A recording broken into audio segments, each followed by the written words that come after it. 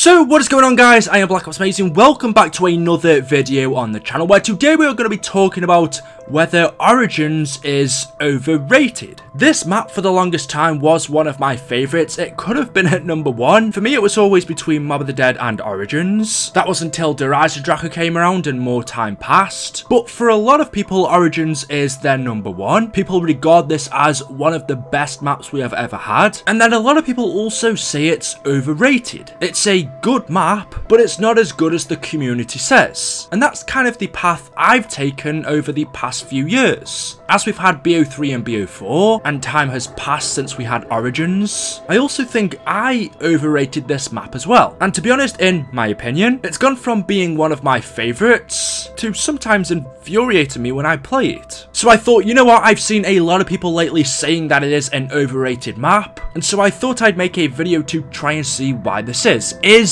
Origins overrated? Or not, is it still as good as people say? So this was DLC 4, our final map for Black Ops 2 Zombies, our conclusion to the zombie storyline, and most importantly, one of the biggest cliffhangers we have ever had. Since it was DLC 4, when you finally completed the main easter egg, and we saw that ending cutscene for the first time, it left all of us wondering what it really meant. Some of us thought it was terrible because it seemed to mean that the whole zombie storyline was made up by these two children, Samantha and Eddie. We were just playing in their heads this whole time. We were playing as action figures by then. We were just a game. That was the most popular idea of what we thought it meant. Of course, later on it was revealed to be totally different, but the ending cutscene definitely didn't go down too well. Besides from that, it was also the difficulty. Origins is definitely not an easy map. If you combine with how tight the trenches are, and then even when you go to the more open areas, it is filled with mud, meaning it's harder to maneuver around. Origins really doesn't have any easy training spots. There are big open areas, but like I said, you're either going to get stuck in the mud or you have to be very specific where you tread unless you're jumping around everywhere. Plus the fact that at the time, this was a pretty big map. Yes, we had transit not too long before, but all of the other maps compared to this were relatively smaller or around the same size. Origins was definitely a bigger map, and all of the main objectives such as the 115 generators or parts, the mystery box moving about, perk machines, everything was spread out, and since the generators could be disabled by the Templar Knights, it meant that you were running around Origins an awful lot, going back and forth, which could not only get a little bit annoying, but also would be very difficult just because of how hard it is to move around. The mud, combined with zombie spawns, definitely doesn't help. And of course another thing, or should I say three things, to stop you moving about were the giant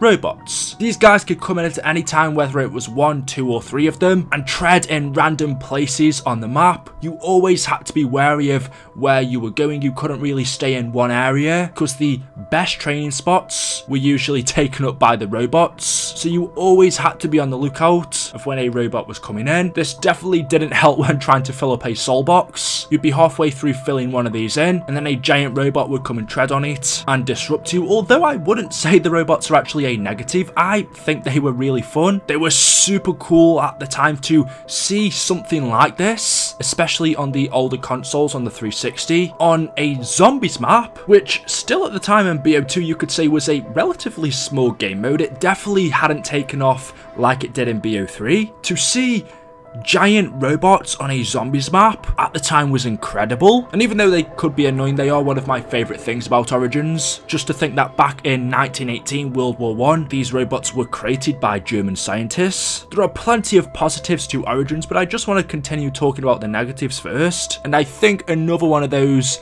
could be the Panzer. Whilst we're still on the topic of difficulty and availability to maneuver around the map, the Panzer was yet another one of the many things that would stop you from doing it. A lot of the maps that we had previously, we were able to really go where we wanted. There was nothing that blocked off our path. There was nothing that would really get in the way besides from, you know, a zombie. But Origins had plenty of them. And the Panzer Soldat was yet another, a boss that could really spawn in on a random round. He was essentially a zombie inside of a mechanical suit, another product of Group 935's. In Origins, as we know there were two different versions of him, he was later brought back in Der Eisendrache, but in this map his suit had a built-in flamethrower, and on the other arm he had a claw. Combining that with his ability to fly and how fast he was, because he could definitely keep up with you, he was very annoying. I hate calling a lot of things on this map annoying because it is a cool map, but I honestly do think its difficulty and how hard it is to move around is its biggest drawback. I think if we got rid of the mud, changed a few spawns around, and maybe reduced the amount of panzers, it'd improve this map a hell of a lot. But getting back to the panzer, he would randomly fly into a spot. If you were running in that area, you'd have to trap back and go a different way, usually because of the mud slowing you down, making it difficult to turn. You'd have to get a good distance away from him before you can take a good few shots at him. He's not an easy boss to take down, and if you were close or in his line of sight, he could extend his claw, drag you in, and then kill you with his flamethrower. It also wasn't easy to escape from him, so as I'm sure you know if you've played this map, or you've ever come face to face with this guy, in no way is he an easy enemy. And that for me has got to be the biggest drawback of Origins. In reality, it's not a lot of things that are bad with it, but that is for me, as I said, this is all in my opinion. You guys could think totally different. But the biggest annoyance about this is the map in general, whether it's the layout, the mud I guess you could say, which makes everything 10 times more difficult. I mean, it is what it is, it does make it a one of a kind, but there are also a lot of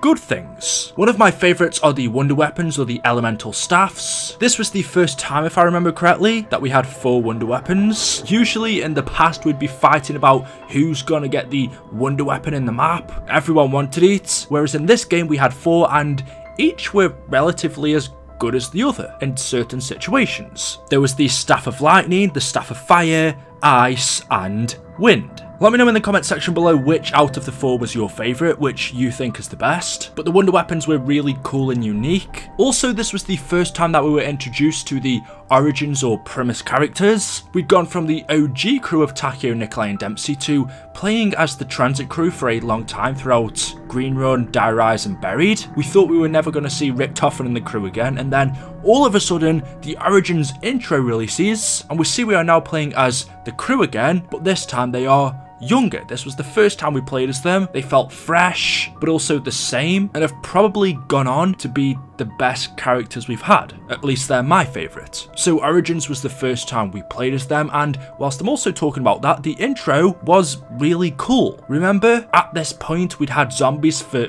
years, I can't remember specifically how long, but it must have been about five or six years, and the intro showed Dr. Maxis for the first time. We'd never actually seen him before. We'd heard from him all the way back in World at War, he was a main character, but we'd never seen him. And then of course we learnt in the intro that Richtofen actually lobotomized him, he killed him, took out his brain, and that's where all of the characters met for the first time on the battlefield. Origins also introduced dig spots which have been brought back into maps like Shadows of Evil with the pods or the plants in Zetsubou no Shima. I feel like there was more maps, but off my head I can't remember. The dig spots were interesting. You could get grenades, zombies, weapons, parts for the staffs. They were another interesting way of mixing things up, which Origins did a very good job at. As I said earlier, the 115 generators, although could be annoying, it was another good way of changing things up. Instead of just the usual power switch, we would have six generators that would power up separate areas. Talking about power-ups, there was a new one called Zombie Blood, which would allow us to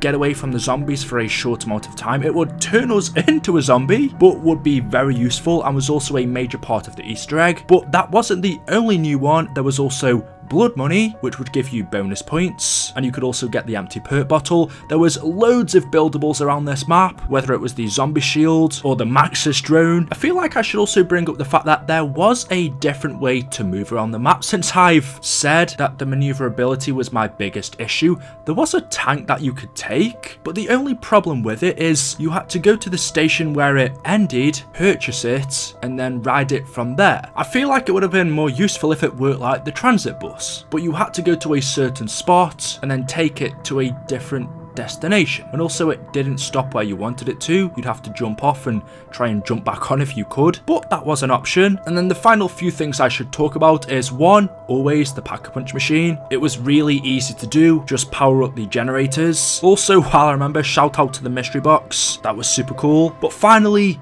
the Easter egg. As always, it's one of the biggest things in our maps. It was not an easy Easter egg to do. I don't think it's the most fun one we've ever had, and then considering the ending we got, although now it makes sense. At the time, for me, definitely wasn't fun, and I've had a lot of nightmares with it. But you could get some cool things such as the Iron Fists, upgrading the staffs was part of it, and some other things, but I will say the Easter egg, definitely not up there for me. And then talking about Easter eggs, there's a load of small ones on this map, such as the jump scare. Um, it's not, not very scary, but you know it's there. There are a few ciphers and scrap papers. There is plenty to do, but going back to the title of this video is Origins overrated with all things considered, with this at one time being one of my favourite maps. Now, over time, is it an overrated map? I don't know, that's a hard one to answer. A lot of people say it is, but for a lot of people, it's also one of their favourite maps. You could say it's overrated, but I think if that was the case, it'd have to be a bad map, and it's not. It's just got a few